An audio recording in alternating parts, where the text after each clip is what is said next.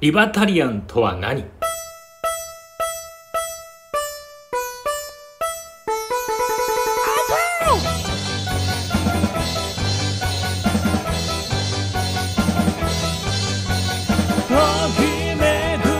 令和4年11月14日月曜日しぎれもんネットラジオ今宵式なラジオでということで今宵もしぎの扉へようこそしぎれもんです。さあ今日は週の初め月曜日ということで今週も行ってみたいと思います。今日のオープニングトークですけどもえー、まあ右保守左リベラルというねまあうんイデオロギーがありますけどもそれとはまた違ったリバタリアンというえー、ね、えー、政治的イデオロギーが、まあ、結構話題だったりするんですけどもそちらのことに関して不思議も的見解を今日はお話したいと思います。その他不思議レモンの最新情報、不思議レモン何した今週水曜日から私イベントのためですね、まあ、特別編成となりますのでそちらの話題などもその他レモンニュースエンタメチェックのコーナー。アメリカ中間選挙の結果。そして、えー、岸田首相が、えーまあ、チャイナを名指しで批判したという、えー、ニュース。共産党の小池書記長が謝罪したということで、まあえー、同党の政策委員長を、まあ、不当に叱責したのかという、えー、ニュースですね。葉梨法務大臣が事実上の更迭というニュース入ってきております。その後は不思議不思スポのコーナー。今日もマリーンズの情報。あのねレジェンド三郎さんがですね2軍カウント決定というニュース。トレンドレモンですけども月1企画「不思レモン月間サッカーダイジェスト」ということでサッカーの話題についてえーね、今日はピックアップしていきたいと思います。今日も8時から30分間どうぞよろしく。リバタリアン。これはま正式名称はリバタリアニズムというふうに言われるということで個人的な自由経済的な自由の双方を重視する、え、自由主義上の政治思想政治哲学の立場であるというふうに言われておりましてですね。まあまあざっくり簡単に言うとまあよくある保守右翼、えー、リベラル左翼とは違ったまた、えー、まあどっちともこうなんていうのカテゴリーとして入らないみたいな。ただ権威に対してはある種反対という、まあ、スタンスを取るみたいなところがあったりするんですけどもまあこの今リバタリアンに入る今人というのはですねまああのツイッターでも話題なえー、イーロン・マスクさんとかですね、まあ、その辺がこう入ったりするんですけども、まあ、不思議レモン的スタンスもどちらかというと、まあ、保守と、えー、左派リベラルではないと自分では思っておりますのでこの、まあ、リバタリアンというのは、まあ、入るのかなと思うんですけども権威とは真逆というのはちょっと気になるかなという。僕は別に権威を全く批判しないので、うん、権威というのもやはりね、えー、与えられるもんじゃないですか。自分で勝ち取ってえー、得るものですから別にそれに関しては僕は否定しないのかなと思いますし、まあ、権力というものはいずれ腐っていきますので一時のものでありますのでそんなにま反対はしないのかなと思うんですよね。だからまあ右でも左でもないという、まあ、スタンスは、まあ、ある種好きなのかなと思うのでただ僕はそのずっと言っておりますけども関ヶ原の戦いでしたら山の上で見ているという卑怯なやつでございますので勝つ方につくというスタンスなので、まあ、ある種、まあ、このリバタリアンじゃねやっぱりないのかなと思うんですよね。権威主義をまあ嫌うという意味では僕はまあはっきり言って逆に権威であるこう権威である方に常につき続けるというような部分もありますからまあそれはまあ私の話はどうでもよくてですねまあこういうものがなぜこう今やってきているのかっていうのは、まあ、ある種イーロン・マスクさんとこう共通する部分があるのかなと思うんですよ。うん、で、まあ、安倍さん安倍晋三さんそしてトランプさんという、まあまあ、他例えばプーチン、えー、習近平とか、まあ、ある種2010年代のリーダーというこう色を見ればこの10年間の,、まあその世の動きというのは結構見えたりするのかなと思うんですよ。僕はまあ安倍さん別に独裁だとはちょっと思わなくて、まあ、独裁だったらもっとやりたいことやってるだろうっていう感じもあるんだけどもただ、まあ、ある種その右とか左とかいうこの分断の時代であったことは間違いないのかなと思うんですよね。だからまあさっき挙げたまあ政治家の方々いろいろ批判等ありますけどもある種どの方も僕はそれなりに認める部分はあるんですね。例えば安倍さんとかも、まあ、ミュージシャンの方は皆さん嫌いな方多いと思うんですけどもやはりこのまあ8年ぐらい長期政権をまあ言ったらねまあ、担ったというのはある種国民に認められていた支持されたということですから、うん、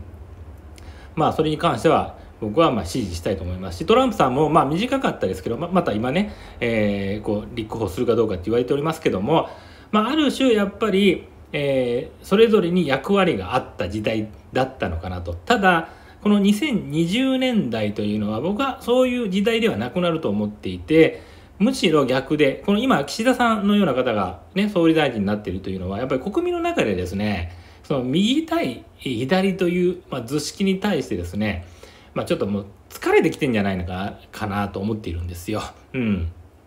と言いますのも例えば、えー、武蔵野市のまあね、えー、まあ、市長のことだったり大阪都構想、えー、沖縄のことだったりですね、えまあ、そういうことを一連の流れを見ておりますとですね。まあ言ったらそういう何かこう、えそれぞれにおける出来事の時に必ず右と左がこう出てきてですね。うわーーと揉み合うわけじゃないですか。で中のその住んでる人たちのことをもう全く無視してですねそのイデオロギーだけでですねいやそれは乗っ取られることだ一方反対からすればいやそれはジェンダー的におかしいとかね外国人の差別だとかねえー、基地負担負担だねいやそれはねえ隣の、ね、国が攻め込んでくるから必要なんだと、まあ、そういうその、まあ、争いになるわけですよ。でも決めるのはその言ったら住んでいる方々が決めることであってですね、まあ、要は、まあ、言ったらその方々にとって暮らしをこうなんていうのかな最優先にした考えでなければならない。例えば大阪都構想もそうですよね。うん。えー、まあ府が都に変わるということによってその言ったら住んでる方々にとってもまあそれ以上の今まで以上のものを提供するということが大前提なわけなんだけどもまあ、それが何か途中からよくわからないそのイデオロギーというかものが発生してですね右対左の図式になったり、えー、まあ、まあ、大阪でしたら維新とかその維新外の戦いになったりするわけなんだけどもで結局終わってみればですね、まあ、例えば大阪都構想だけに区切るとですね、まあ、まあ維新は負けるとでも大阪の影響力はやっぱりその維新が多かったりするわけじゃないですか。うん、だからまあ、例えば沖縄もそうですね。玉城デニーさんが、まあね、再任されたんだけどもじゃあ、えーまあ、リベラル的な、ね、玉城さんだけどもでも他の箇所を見ると沖縄のやっぱり両党自民党の方が勝っていると。つまり、えー、そのそこに住んでる人たちはそういう右と左が拮抗した争いになるとですねとりあえず両方勝たすようにするんですよね。うん、こっちではこここいつ勝たしといてこっちではね反対のみたいな。今のだからアメリカの中間選挙を見て、この後ニュースでやりますけども、まあそれももうすぐ分かりますよね。もうとにかく右と左がいがみ合うとですね、中のその住んでる人たちは、もう両方勝たせたらいいじゃねえか。で、根本的ななんかね、あの本質が、なんていうのかな、決まら、決まらないんですよね。本質的なものが。だから、そこに疲れちゃったんじゃないかなと思うんですよ。で、大事なのはやっぱり、そこだと思うんですね。えー、住んでる人たち、国民、市民、府民、えー、まあ言ったら、そういう方々が、えー、県民 府民だけだったら、県民、まあ、えー、そういう方々が一番優先されないといけないのに、住んでる方が優先されないといけないのに、アメリカ国民も日本国民も全てですけども、なんかそういうものが結構ないがしろにされちゃってる時期が長かったのかな、なんて思ったりするんですよ。ですから、イーロン・マスクさんのように、えー、まあ言ったら左派があこう中心の、まあ、ツイッター内の中に、えー、右派的な意見をちゃんともうちょっと取り込もうという形で、まあねえー、改革されたりというのはやはりこの2020年代はそういう新たな動きなのかなと思ったりするんですよ。うん、でまあ僕のように右でも左でもない人間は、まあ、非常に喜ばしいあの2020年代のスタートになってるんじゃないかなと思いますしその波に乗れない人は、えー、まあ、化石化石というかねみたいになっていくのかな。まだやってるよって。ね。まだネトウヨがとかまだ左翼がってまだやってるよっていうような感じになった方がいいのかなと僕は思ってるんですよ。時代遅れの、ね、方々がまだ言ってるよって まあそういう時代に早くね、えー、どんどんこうメインになってほしいなという。でもうやっぱりね本質的なとこ決まってほしいですね。もうそういうもうイデオロギーじゃなくて我々の本質的な生活が結局上がる上がるような。だから結局今の中間選挙でもそうじゃないですか。インフレでめちゃくちゃ生活国民の生活がね苦しんでんのに結局民主党は何もやってこなかったわけでしょ？うん、にもかかわらずなんだかその他のね、えー、まあ、イデオロギー的なことを推し進めようとしてるわけであって。でそりゃそうなるよねっていう。まあでも共和党も共和党でうん。まあ言ったらねかつ対象すると思われたのに俺が出るんだみたいな方がで またやってきてですねもうじゃだったら両方に勝たせようぜみたいな感じになっちゃうのかなとアメリカは。とこれはまあアメリカだけじゃなくて全てのところがまあ結局本質で本質なものをえー、置いておいてもう鬱陶しいから両方勝たせてそのままにしとけよっていうふうになっちゃうというね。うんそこがこの2010年代のなんかまあダメだったところなのかなと。そこをこの10年はどうやって解決していくか。そしてマスクさんイーロン・マスクのような新たなリーダーはそこをついてくるんじゃないかなと私は思っておりますけども。どうなるか。この番組は資源音楽レーベルの提供でお送りいたします。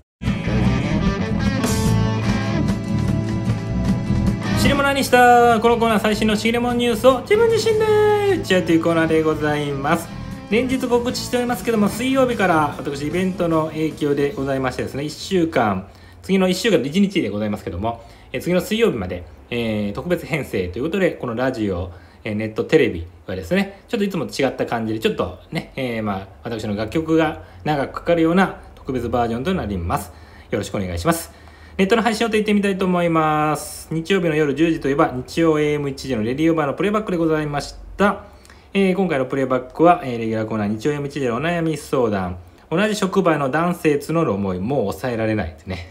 なんかいいですね。えー、休日に仕事のメールで休まりませんというね。うん。えー、このようなお悩みを一刀両断しております。日曜日の夜10時、不思議テレビジョンにて配信しております。えー、そして日曜日の深夜日付方、月曜日の AM1 時、日曜 AM1 時のレディオバーの新作でございます。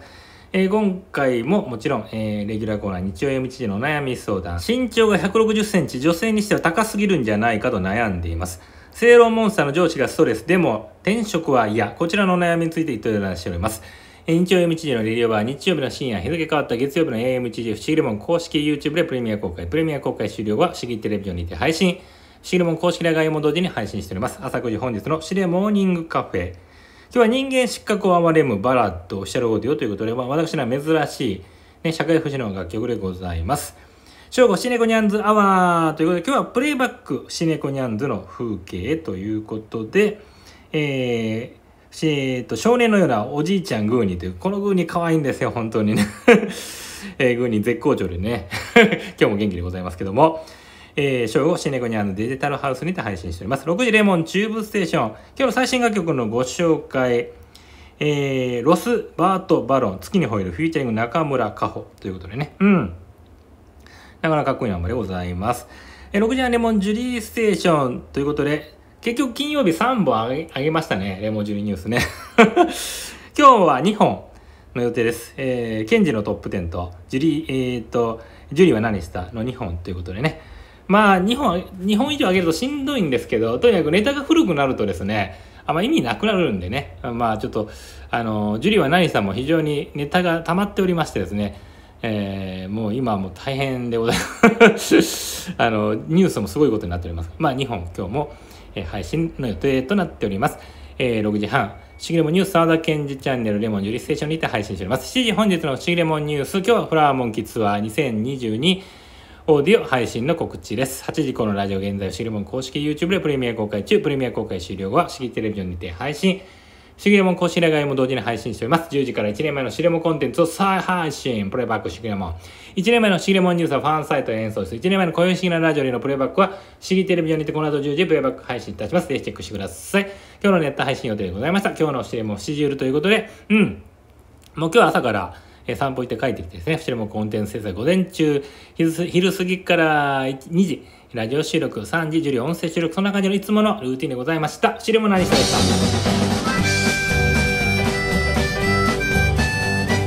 レモンニュースエンタメチェックのコーナーでございます。このコーナー最新のニュースエンタメを独自の目線であやこや言うコーナーでございます。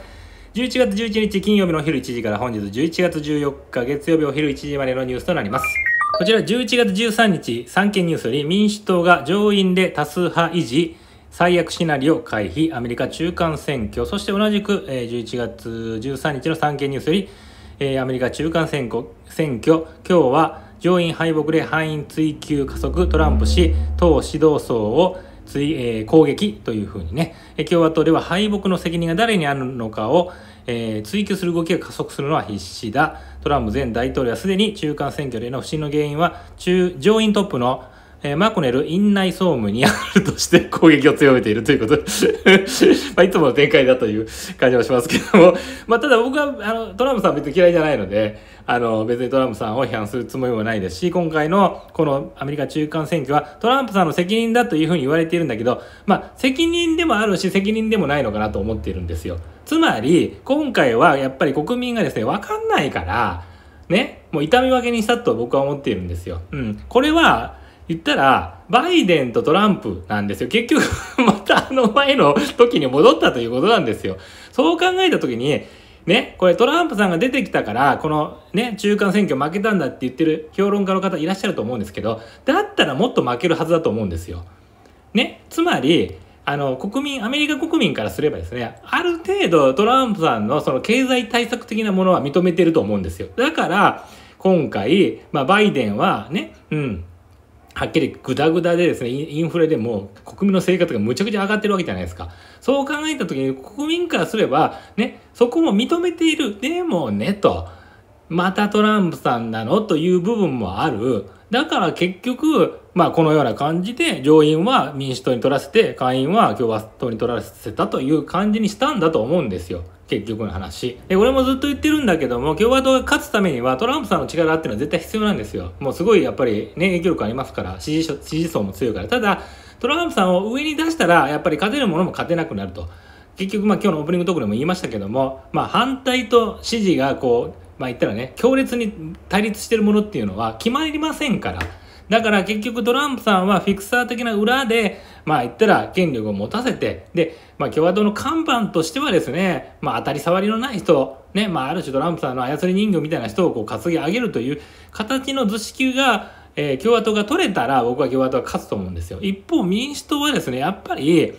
もう全然このインフレでめちゃめちゃ上がってしまってると、ここをやっぱり負けを認めてですね、まあいろいろね、その、まあ言ったら、え人工中絶のこととかいろいろあると思うんだけど、やっぱり経済一本に絞ってですね、国民の経済をどれだけ戻せるかということを国民に対して叩き出さない、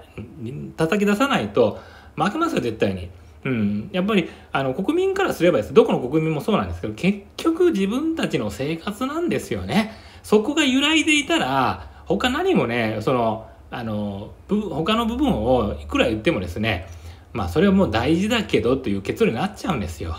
うん、やっぱりね全ては我々のその生活うん、そこなんですよね。そこをまずちゃんと満たした上で次の政策とかいう風になっているので民主党はそこができてないからやっぱり他のなんか言うことはできないですよね他の政策をなんやこや言うことは。だからやっぱり左派的とかリベラル的とか保守的とかそういうもののイデオロギーで押し通すとこういう結果になるんですよ。こちら11月13日産経ニュース。岸田首相チャイナ名指しで批判。尖閣念頭に日本の、えー主権を侵害東アジアサミットということでチャイナ軍が8月に台湾周辺で行った軍事演習で日本の排他的経済水域に弾道ミサイル5発を着弾させたことに言及し台湾海峡の平和と安定も地域の安全保障に直結する直結する重要な問題だと主張したということでね。これに関してリプがま非常に岸田よく言ったっていう保守派の方々がですねうん。まあ、拍手してるんですけどもいや確かにこれは本当にどうしたのっていう よく言えたねっていう感じで。でもまあ岸田さんって確かに人の話を聞くのが長所って自分で言ってますけどそれは確かにそうかなと思うんですよ。あの自分が置かれてる立場がちょっとやばいなと思ったら素直にそこはちゃんと改善する。だからそれは話を聞いてるんだと思うんですよ。ただ決断は遅いよねという感じ。そこがまあ弱点というか。うん、だからその安倍さんの時ののようなスピード感はないという。人の話は聞いてるけどねみたいな、うん、まあそういう意味ではまあ今回のこの、えー主張は良かったと思いますしさすがに日本の景気も上がっていくとは思うからまあこのまあ統一教会問題でまあ非常に支持率下がってるけどここ乗り切ったらまた上がってきそうな感じはするかなと思うんですよ。うん。で、まあ、繰り返し言っておりますけども、まあ、国民的には右とか左のイデオロギーの対決というものにも結構飽き飽きしてるから、まあ、岸田さん的にはある種国民の声に耳をえー、聞いてですね、ある種の対策を出してですね、で、まあ言ったらこの海外に対して、世界に対してですね、ちゃんと物申していきさえすればですね、それなりに長期政権にはなるのかなとは僕は思いますけど。えー、11月14日産経ニュース、共産小池書記局長が謝罪、田村政策委員長を不当に叱責ということで、小池氏はハラスメント根絶を目指す党の一員として、今後絶えず自己改革に努めますとも綴ったということで、まあ、ある種、謝罪はしたということなんですけど、この動画を見たんですけども、まあ、僕は共産党のその、なんていうのかな、スタンスを、まあ、支持することはないんですよ。残念ながらね。支持されてる方には申し訳ないんですけど。ただ、是々非々で見ないといけない。何が何でもその、例えば保守派の方では、ね、共産党は全て悪いみたいなことを言ってる方いらっしゃると思うんですけども、例えば今回のこの出来事もですね、動画を見ましたらですね、まあ、ただの言い争いじゃないけども、ただ俺はね、名前を間違ってないと言ってるだけであってですね、これをそのなんかパワハラというふうに認定をしてしまうとですね、まあ、世の中は結構もっとパワハラ率は上がるのかなと思うんですよ。うん。そういう意味では、ちょっと、まあ、今回のことに関しては小池さんは別にそこまでただ、その相手に対してですね、この玉田さんっていう方に対してですね、まあ、謝罪をするというのはちょっと言い過ぎたね、ごめんねっていうぐらいはまあいいと思うんだけども、その世間一般的なパワハラには当たらないんじゃないかなと思うんですよ。うん。やっぱり、やっぱりね、その右も左もですね、全然ひで見ないと。いいこと悪いこと。何、何でもかんでもただ一つ言わせてもらうとなると普段からハラスメントハラスメントジェンダージェンダーねえー、パワハラパワハラパワハラと言ってるような、えー、自分の党のスタンスをするとやっぱり周りがそれだけ厳しく見るよと、うん、相手に対してそれだけ叱責っていうかね厳しい目で見てる人っていうのは自分もそのように見られるよと。いうことなんですよ。ですからやっぱり気をつけないとこのようにあの結構炎上になってしまう。ああ自分全然できてねえじゃねえか。おめえパワハラじゃねえかっていうふうに言われてしまうよと思うんですよね、うん、だからやっぱり何事もほどほどにと。ワンツー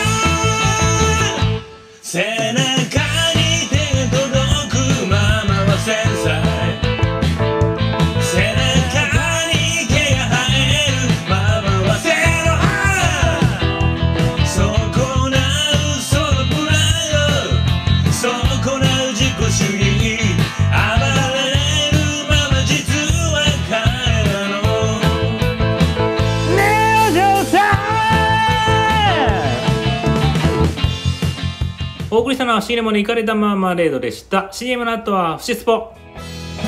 シーレモンファンクラブ演奏のお知らせです。シーレモンの楽曲ネットライブテレビラジオすべての観覧。そして不思議レモンデジタル写真集の観覧。リアルライブ不思レモンリリース楽曲グッズの先行予約など盛りだくさんの内容となっております。ファンクラブ入会費用は月額3300円です。詳しくは不思議音楽レーベルの演奏詳細の欄をご覧ください。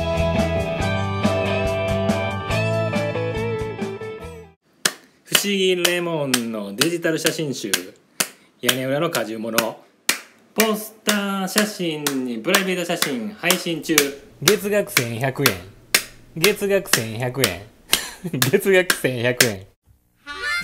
不思議音楽レーベルの音楽配信サブスクリプションサービス。シューファイ月額1100円で不思議音楽レーベル全アーティストのシングルアルバムがフル視聴できるサービスです。詳しくは不思議音楽レーベルサイトまで。シギレモンライブスペース電脳不思レモショー。月額1100円で不思議レモンの新旧ライブ音源動画がご覧になれるサイトです。詳しくは不思議音楽レーベルサイトまで。不思議テレビジョン不思議音楽レベルのネットテレビネットラジオが聞き放題。月額1100円。不思議。テレビジョン不思議。テレビジョン不思議テレビジョンシネコニャンズデジタルハウスへようこそ。不思議レモンの可愛い愛猫たちの写真動画が月額1100円で見放題。不思猫ニャンズデジタルハウスへどうぞ。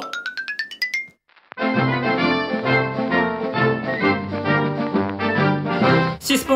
ーここからはスポーツの話題をお送りしたいと思います。レモンの千葉ロッテマリーンズ応援曲ということで三郎二軍監督誕生ということでね、えー、まあ大村三郎という本名なんですけども、えー、登録名は現役時代と同じく三郎で背番号は86番ということでねいやーなかなか楽しみなね、えー、感じでございますけども、えー、山本浩二さんという、まあ、マリードのね、監督、過去の監督がつけられていた86番をいただくことになりましたということで、えー、まあ、ね、優勝のために、えー、まあ、2軍の、えー、立場からバックアップしたいというふうにね、おっしゃっておりますけど、楽しみですよね。シレモニュースは最後にまとめていきます。えー、葉氏法務大臣、えー、辞表提出ということで、まあ、事実上の更迭ということでね、まあ、本当に余計なことをね、なんで言うんですかね。まあ、これに関しては、まあ、とりあえずスピード感と言ってはあれですけども、まあ、岸田さんも、まあまあ、きっちりとね、対処できたのかなと思いますし、まあ、今とにかく支持支持率が低いので、もう岸田政権とすれば、もう、まあ、素早くね、このような悩みの種はもう切っておいた方がいいという感じなんでしょうか。佐久間式ドロップがですね、えー、高額転売横行ということで、いや、まあ、廃業が決定した瞬間にですね、ややっぱり皆さん